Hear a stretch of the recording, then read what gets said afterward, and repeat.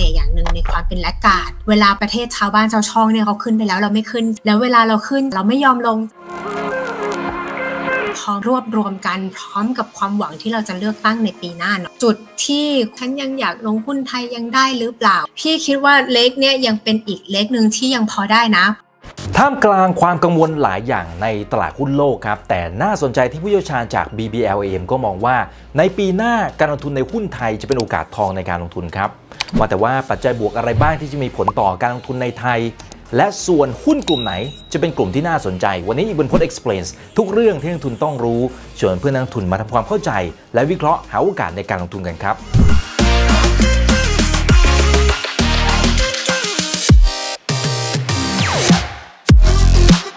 นับตั้งแต่ต้นปีตลาดหุ้นทั้งโลกปีนี้ปรับฐานลงมาลึกครับ ตลาดหุ้นสหรัฐอเมริกาก็ร่วงหนักยุโรปเองก็เจอศึกหนัก จีนเองก็เจอการปรับฐานแรง เหตุผลก็มีหลายอย่างครับ ตั้งกลัวเรื่องเงินเฟ้อการขึ้นดอกเบี้ย เจอเรื่องสงคราม ความตึงเครียดภูมิรัฐศาสตร์ ส่วนทางฝั่งจีนเองก็ยืนยัน ว่ายังคงใช้นโยบาย4โรคโควิดยังไม่มีการเปิดประเทศนะครับทำให้เศรษฐกิจเองก็ชะลอตัวลงมา จุดที่น่าสนใจคือทำไมตลาดหุ้นไทยถึงแข็งแกร่งกว่าตลาดอื่นครับร่วงมาประมาณสัก1%เท่านั้น และผู้เชี่ยวชาญเองก็มองว่าตลาดหุ้นไทยยังมีโอกาสในการลงทุนที่ดี โดยเฉพาะในปีหน้าครับ ยกตัวอย่างเช่น Amazon Web Services บริษัทในเครือของ Amazon.com นะครับซึ่งก็เป็นยักษ์ใหญ่อีคอมเมิร์ซระดับโลกประกาศทุ่มลงทุนในไทย กว่า 190,000 ล้านบาท ลงทุนในโครงสร้างพื้นฐานระบบคลาวด์นอกจากนี้ก็มี BYD ค่ายรถยนต์พลังงานไฟฟ้ายักษ์ใหญ่ของจีนครับที่ประกาศทุ่มเม็ดเงินจำนวนกว่า 18,000 ล้านบาท ก่อตั้งโรงงานผลิตในประเทศไทยภายในปี 2024 และไม่นับรวมนะครับว่าโซนี่ยักษ์ใหญ่อิเล็กทรอนิกส์ของญี่ปุ่นทุ่มเงิน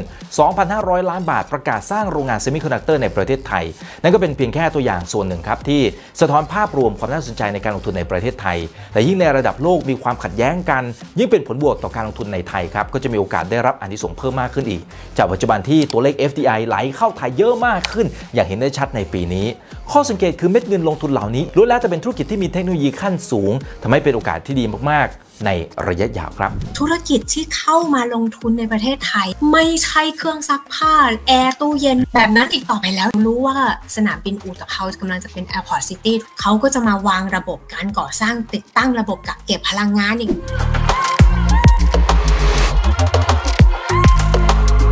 หรือจะมาเป็นศูนย์ซ่อมในเชิงหลุมปิโตรเลียม แล้วมีตัว charging station ด้วย และยังไม่นับ ตัว IT service ที่จะมาลงทุนในประเทศเรา นั่นแปลว่าภาคการผลิตของไทยจะถูกยกระดับสูงขึ้นไปอีกระดับหนึ่งครับ ซึ่งก็เป็นผลดีต่อขีดความสามารถในการแข่งขันระยะยาวของประเทศ น่าสนใจมากครับ ไม่ใช่แค่นี้ครับ เหตุผลที่ประเทศไทยเริ่มเนื้อหอมมากขึ้นส่วนหนึ่งเป็นเพราะเศรษฐกิจก็อยู่ในช่วงการฟื้นตัว ส่วนทางกับต่างประเทศที่เริ่มชะลอแล้วนะครับ สอดคล้องกับกองทุนการเงินระหว่างประเทศหรือ IMF เขาก็ออกมาคาดการณ์นะครับว่าเศรษฐกิจไทยจะเป็นเพียงไม่กี่ประเทศที่ยังเติบโตได้ดีในปีหน้านะโดยได้รับแรงสนับสนุนจากการฟื้นตัวจากวิกฤตโควิด -19 จนเกือบจะเท่ากับระดับก่อนวิกฤตแล้วละครับ ส่วนหนึ่งก็เป็นเพราะเรื่องของการท่องเที่ยวด้วย โดยนักท่องเที่ยวต่างชาติที่เดินทางเข้าไทยนั้นเพิ่มขึ้นอย่างเห็นได้ชัดเลยนะครับ แล้วก็มีโอกาสทำได้ตามเป้าหมายของการท่องเที่ยวแห่งประเทศไทยที่วางเป้าหมายไว้ 10 ล้านคนในปีนี้ และมีโอกาสฟื้นตัวต่อเนื่องในปีถัดไป ตามการคาดการณ์ของธนาคารแห่งประเทศไทยครับ ตามสถิติย้อนหลังทุกครั้งที่มีการเลือกตั้ง ตลาดหุ้นไทยมักจะบวกแรงครับโดยเฉพาะถ้าก่อนเลือกตั้ง 3 เดือนก็จะบวกแรงมากเศรษฐกิจก็จะมีเม็ดเงินสะพัดมีความคึกคักอย่างมากดังนั้นถ้าว่าอ้างอิงตามตัวเลขสถิติ ก็พอจะคาดหวังว่าการเลือกตั้งครั้งต่อไปในปีหน้าที่ถึงนี้ ก็น่าจะเป็นปัจจัยสนับสนุนให้หุ้นไทยนั้นเติบโตได้อีกแรงหนึ่งครับ พฤษภาคมปีหน้าเป็นจุดที่คิดว่าเราจะได้มีการเลือกตั้ง ประเทศไหนก็ตามในโลกนี้ที่มีการเลือกตั้งมันนำมาด้วยความหวัง มันจะมากันเป็นเฟส sector ที่จะได้รับอานิสงส์เชิงบวกจากการเลือกตั้งของไทย ดังนั้นมีข่าวดีตรงนี้เกิดขึ้นอันนี้อย่าให้เสียโอกาสนะ การเมืองไทยกำลังจะมีความหวังเกิดขึ้นแล้วในช่วงเดือนพฤษภาคมปีหน้า โอเคครับ นี่เป็นเพียงแค่ตัวอย่างปัจจัยบวกภายในที่เป็นแบบเฉพาะตัวของตลาดหุ้นไทยที่แตกต่างจากหลาย ๆ ประเทศครับพอเห็นภาพรวมกันแล้วชวนมาวิเคราะห์หาโอกาสในการลงทุนกันหน่อยครับ ส่วนตัวผมเองก็ยังชอบตลาดหุ้นไทยนะครับ อาจจะเป็นส่วนหนึ่งเป็นเพราะโฮมไบแอสด้วยนะครับ เราใกล้ชิดกับตลาดหุ้นไทยคุ้นเคย แล้วก็หาข้อมูลได้ง่ายกว่า อีกส่วนก็เป็นเพราะตลาดบ้านเราเนี่ยยังไม่ได้ขึ้นแรงมากเลยนะครับ หลังจากที่เจอกับวิกฤตโควิด -19 ในขณะที่หุ้นดีๆ พื้นฐานดีๆ ก็ยังมีหลายบริษัท และเศรษฐกิจเองก็อยู่ในช่วงการฟื้นตัว ฐานะการเงินการคลังก็ยังดีทำให้ตลาดหุ้นไทยก็ยังมีความน่าสนใจในการลงทุนนะครับ ประเทศไทยเนี่ยมีเสน่ห์อย่างหนึ่งในความเป็นแลกการ์ดเวลาประเทศชาวบ้านชาวช่องเนี่ยเขาขึ้นไปแล้วเราไม่ขึ้น แล้วเวลาเราขึ้นเราไม่ยอมลงคืออย่างตีมรีโอเปนนิ่งสำหรับหุ้นไทยเยเล่นมากันตั้งแต่ตอนไตรมาสสองตอนนี้ยังไม่จบเลยอะดังนั้นเนี่ยเรามีความเป็นแลกการ์ดแล้วเรามีความช้าช้าไม่ยอมจบรอบอยู่เบาๆเนอะเพราะฉะนั้นถ้าสมมุติว่าคุณเห็นธีมไหนที่เป็น global trend แล้วเขาเล่นกันไปที่ประเทศบ้านอื่นกันหมดแล้ว มันอาจจะมาเล่นในประเทศบ้านเราในปีหน้าก็ได้นะ ภาพของ manufacturing หรือภาคการผลิตของเรา มันได้รับการ up well ขึ้นไปแล้วนะ แล้วพอมาลักษณะของการที่จะต้อง up well เนี่ย มันต้องมี consulting แล้วมันก็จะมี IT Tech Consulting ขึ้นมา แล้วเขาก็มาแล้ว ดังนั้นแล้วเนี่ยสิ่งที่เขามาหาและกาดอย่างเราเนี่ยด้วยการให้เทคโนโลยีที่สูงขึ้น ให้การผลิตที่ High Level ขึ้น มาทั้งตอบโจทย์ตลาดในบ้านเรา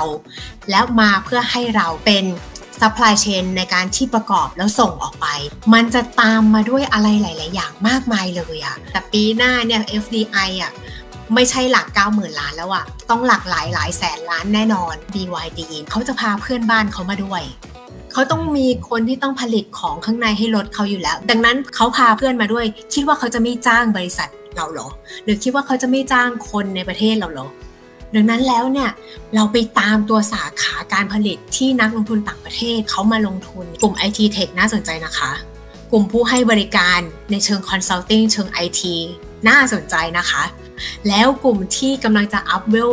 ส่วนของ EV car ที่มาแล้วอาจจะยังมีอัพไซด์ให้ไปต่อได้อีกนะ ฟังมาถึงตรงนี้ก็จะเห็นว่ามีโอกาสลงทุนในหุ้นไทยมากมายครับ แต่ก็ยังมีปัจจัยค่าเงินบาทที่ต้องติดตามอย่างใกล้ชิด ซึ่งก็จะมีผลต่อแนวทางในการเลือกประเภทของกองทุนที่เราจะเข้าไปลงทุนด้วยนะครับเวลาเรา quote ค่าเงินเรา quote ต่อ DXY ต่อดอลลาร์ แต่ตัวดอลลาร์เองอะมันเป็นตัว stand alone ของมันเดี่ยวๆ ดังนั้นนะบลูเบิร์กเขาก็เลยคิด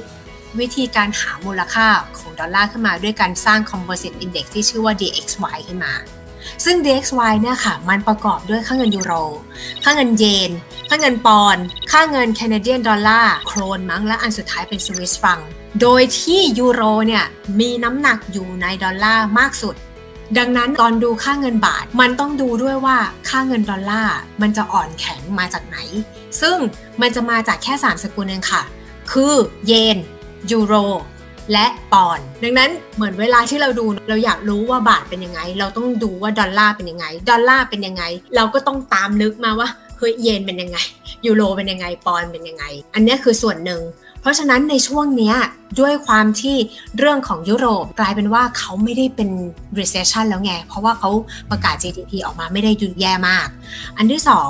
ค่าเงินปอนอยู่ในระดับที่ไม่ผันผวนแล้ว แล้วค่าเงินเยนมันก็ stabilize มันก็เลยทำให้ค่าเงินดอลลาร์มันเกิดภาวะอ่อนตัวขึ้นมา และเมื่อมีเรื่องของ CPI เข้ามาด้วย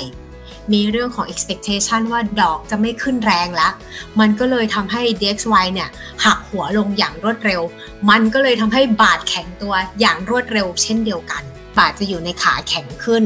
และบาทอาจจะมีเสถียรภาพมากขึ้น เพอเพอๆอาจจะมีอัพไซด์มากกว่าที่บอกไว้ก็ได้